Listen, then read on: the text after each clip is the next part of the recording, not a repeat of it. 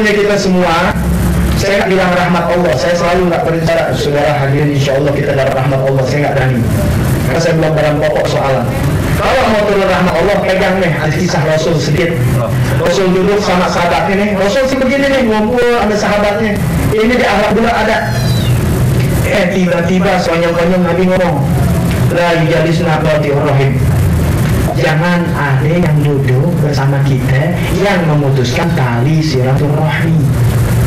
Dengan bijaknya. Sahabat masya Allah. Orang jiwa besar. Nabi tahu di situ di antara mereka ada yang memutuskan tali silaturahmi. Yaitu sang orang datengin dirinya minta maaf. Tuh kalau kita ada nggak gitu? Jangan saudara saudara gara-gara warisan ribut nggak turun rahmat Allah. Itu bukan didikan Nabi. Itu bukan akhlak Nabi. Beda paten ribut. Jangan. Beda kaos ribut. Ngebetin perempuan kontrak tetap tahu di situ anak lagi temen mereka berdua berdua ribut. Dua-duanya kagak datang dapat dua lu ada apa? Apalagi orang perempuan nih bu yang udah punya lagi ya bu jangan suka ribut. Sama tetangga gara-gara urusan. Hasad dengki pengenan sama tetangga orang. Melihat tetangga sebelah. Punya motor ya? Punya motor.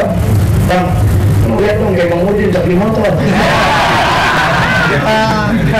Abang dia kayak dia bisa beli motor. Kapan abang beli motor? Ya elah. Sepeda agak punya. Akhir-akhirnya ujung-ujungnya bisa ke si udah sono keren lagi lagi beli mobil. Ini beli lagi. Konyol gitu dadak lagi sok lagi. Udah angkot Bang, beli mobil dong. Biar lo si Amir bisa beli mobil. Kapan abang beli mobil Amir oh kalau perempuan suka begitu tuh jangan ya. Eh tetangga sebelah depan rumah ini sebelah depan rumah. Kawin lagi. Kawin banyak. Selingkuh sih. Gue potong potong duitnya kapan abang kawin ke dia? Ada nggak begitu? Ada. Nggak? Ya ah, milih-milih sih perempuan begitu. Jelek jangan begitu. Biar ame lagi biar toat. Jangan suka banyak maunya. Dandan kagak. Kalau perempuan kalau lagi pantas di kantor yang melok minum begitu merah ke tinggi rongkrong kalau lagi kan selalu kalau aku tinggi ya kan ngajak ngajak sendok kalau nanti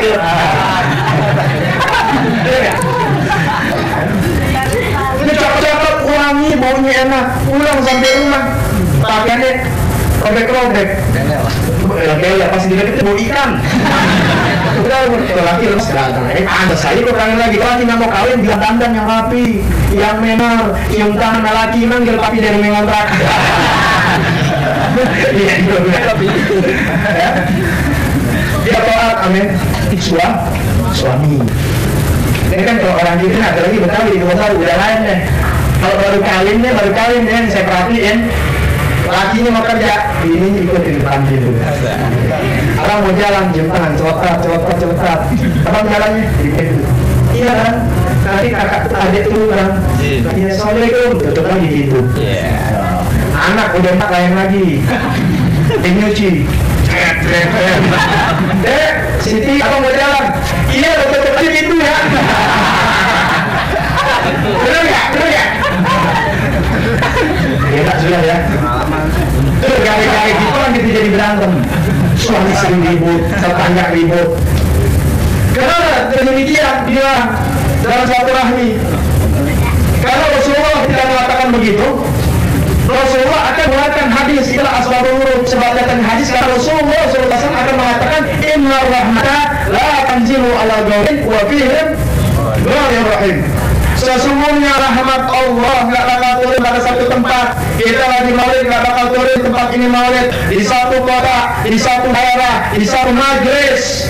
Kalau di situ ada yang memutuskan tali silatur, insya Allah dengan berkahnya maulid di Ustaz Mahbub insya Allah yang kita niatkan ijabah oleh Allah Subhanahu Wa Taala. Dan sepulang dari sini tingkatlah kan tingkatkanlah aktivitas kita dalam menuntut ilmu. Karena sementara orang banyak menganggap maulid ini adalah salah satu kecintaan Rasul. Benar tapi ada lagi yang lebih dicintai Rasul hadir di majelis ilmu. Sebab kalau maulid kita mendengarkan kisah-kisah Nabi untuk dapat mentaatikan beliau. Tapi kalau majelis ilmu adalah kita menjalankan pelaksanaan yang dijalankan oleh Rasulullah SAW di atas dua kali daripada maulid Oh, jadi silakan. Saya nggak promosikan di tempat saya tuh hari Minggu. Di sini Ustaz Mahbubullah ada, Ustaz Agus malam Jumat ada, Ustaz Mahbubullah juga malam malam. Malam Senin ada, malam Selasa ada, malam Rabu ada, malam Kamis ada. Udah. Numpang maaf, numpang maaf bukan numpang lewat. Tidak ada keberkahan melebihi daripada kita hadir di majelis ilmu. Bapak saya kerja, tapi anaknya nggak ada dari majelis ilmu. Nggak ada duitnya dari bapak saya bapak saya sendiri yang ngomong. Sekarang bapak saya nganggur dari tahun 89 sampai sekarang 2009 20 tahun. Tetap hidup. Bahkan kata bapak ikut saya kemarin bisa dapat 800 ribu. Ikut. Kan Loh, gimana? Gimana? Bosnya? gimana? Anaknya maksudnya? Iya. Bapak kita juga ikut berkahnya. Tuh berkahnya. Maka bapak-bapak jangan takut masukin anak ke madrasah atau ke sekolah ada agama orang-orang yang diridhoi Allah yang ahli surga tidak bakalan susah di negeri dunia ini. Jadi mohon maaf sebesar-besarnya kepada hadirin halayak ramai dan sebagainya. Kalau ada kata yang salah mohon maaf. Kalau tidak enak boleh diulangin beserta amplop-amplopnya. Dan insya Allah pada waktu dan tempat yang sama atau pada lain waktu di tempat yang lain kita bisa bertemu kembali dan berjumpa lagi. Kalau yang ingin bertemu di minggu silahkan datang ke majelis il, ilmu. Minkum kepada orang-orang tua kalau jadi kurang ajar malum saya masih belajar juga maaf kepada yang muda-muda kalau ngajarin tapi memang mesti harus belajar Assalamualaikum warahmatullahi wabarakatuh. Waalaikumsalam.